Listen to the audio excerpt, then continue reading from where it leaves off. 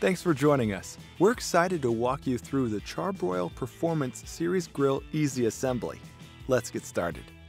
There are two portions of this assembly that require two people. Make sure you have some assistance. You'll need the following tools for today's assembly. Be sure to assemble your grill on a level, protective surface to prevent damage to the unit.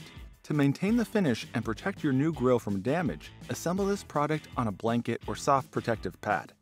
For ease of product removal, cut all four corners with a utility knife and allow the carton panels to lay flat as shown.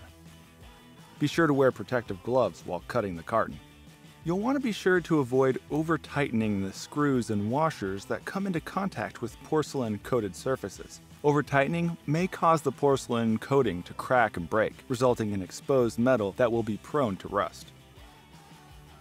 Step 1. Attach the left side cart, right side cart, and the bottom shelf by using 4 screws and 4 flange nuts. Step 2. Attach the back panel to the left and right side carts with the 6 sheet metal screws. Step 3. Use the caster pin to attach the locking and fixed casters to the left and right side carts. After all four casters are secure, remove the caster pin and save for future maintenance.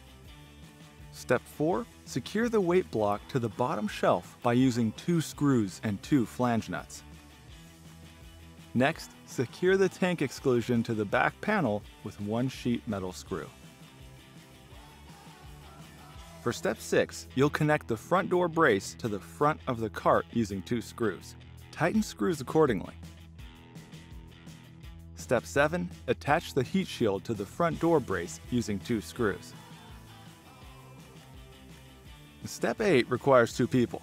First, place the top lid, main control panel, and the firebox on the grill base.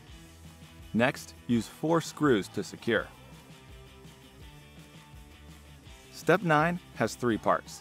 First, line up the holes on the right side shelf to the firebox. Next, use the two screws to flange nut and flat washer to line up the right side shelf and fascia.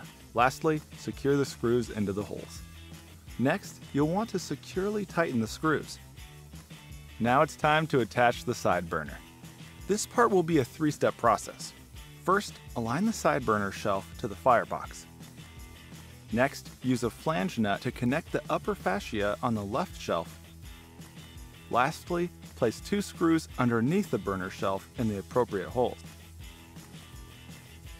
Next, you'll want to tighten the screws to secure the side burner. For the first part of step 13, you'll need to remove the screws from the valve hose regulator. Next, secure the bezel knob to the lower fascia using the screws that were just removed from the side burner valve bracket. Step 14. Secure the control knob in place. Step 15. Attach the side burner to the valve, hose, and regulator. Next, secure the wire on the front side burner. Lastly, place the side burner grate on top of the side burner. Step 16. Now it's time to attach the doors and handles. First, using the two screws, two lock washers, and two flat washers, to secure the handles to each door. Next, line the doors up with the body of the grill and press the grooves into place to secure.